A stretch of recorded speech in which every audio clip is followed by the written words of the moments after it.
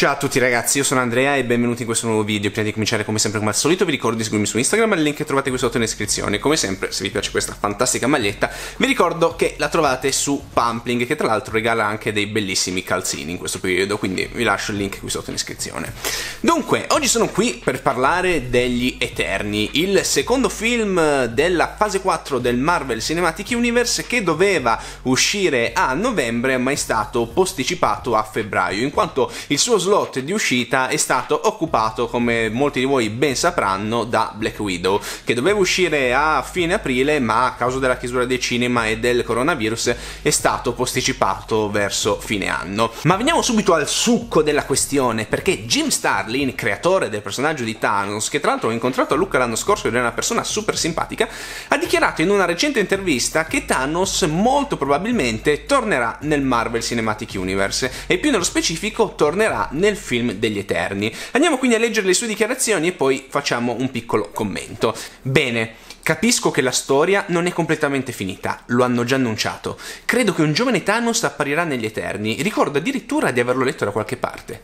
Hanno fatto un sacco di soldi con questo ragazzo, quindi non penso che lo ritireranno molto presto. I personaggi di fumetti tendono ad avere una durata estesa, che supera quella degli attori che ci lavorano. Mi aspetto quindi di vedere molto di più di Thanos in futuro. E onestamente, ragazzi, la cosa non mi stupirebbe affatto, soprattutto per diversi motivi. Primo su tutti, il fatto che Thanos è figlio figlio degli Eterni e che gli Eterni sono esseri immortali e quindi è molto probabile che eh, questa prossima pellicola del Marvel Cinematic Universe seguirà le vicende dei personaggi in un arco di tempo molto vasto ed è quindi sicuramente fattibile far vedere un giovane Thanos in qualche scena flashback oppure in scene ambientate parecchi anni prima degli eventi di tutto il Marvel Cinematic Universe. La seconda cosa è che i Marvel Studios volevano già mostrarci un giovane Thanos in Avengers Endgame. Sono stati infatti pubblicati alcuni artwork che mostrano un Thanos adolescente. Poi per diverse scelte di sceneggiatura molto probabilmente si è deciso di non girare queste scene.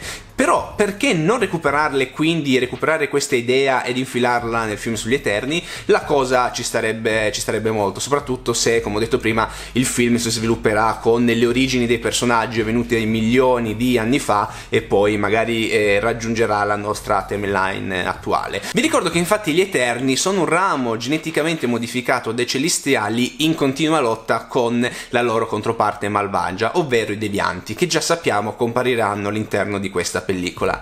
E quindi sapendo questo possiamo anche rispondere alla fatica domanda che so già uscirà uh, con l'avvicinarsi della pellicola, che è quella ma dove sono stati gli Eterni per tutto questo periodo? Che era la stessa domanda che ci eravamo posti quando annunciarono il film su Capitan Marvel ambientato negli anni 90. E sicuramente useranno qualche scamotage come è stato fatto con Capitan Marvel, che non mi aveva fatto particolarmente impazzire, ma eh, soprattutto quando va a introdurre personaggi che esistono già nel passato di tutto il Marvel Cinematic Universe Universe e in qualche maniera bisogna incastrare i pezzi. O tireranno fuori la scusa che i celestiali hanno magari impedito agli Eterni di intervenire, oppure che non volevano intervenire per non farsi trovare dei devianti o così via. Vedremo, ci sono molte possibilità, speriamo che utilizzino quella più eh, azzeccata e migliore soprattutto. Quindi ragazzi, fatemi sapere cosa ne pensate voi con un commentino qui sotto, se siete contenti di rivedere Thanos anche se in versione più giovane, non credo che onestamente lo rivedremo a pieni pieni poteri nella sua versione adulta, come ha detto Starlin,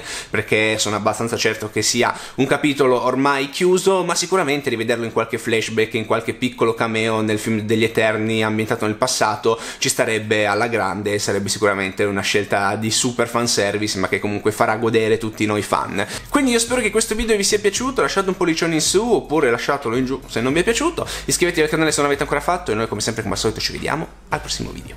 Ciao!